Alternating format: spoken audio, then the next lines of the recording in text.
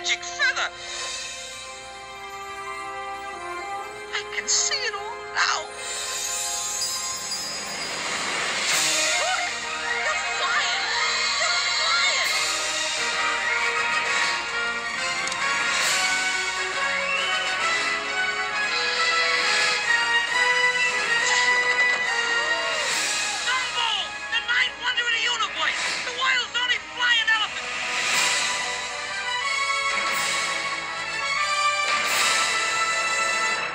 Is proud, proud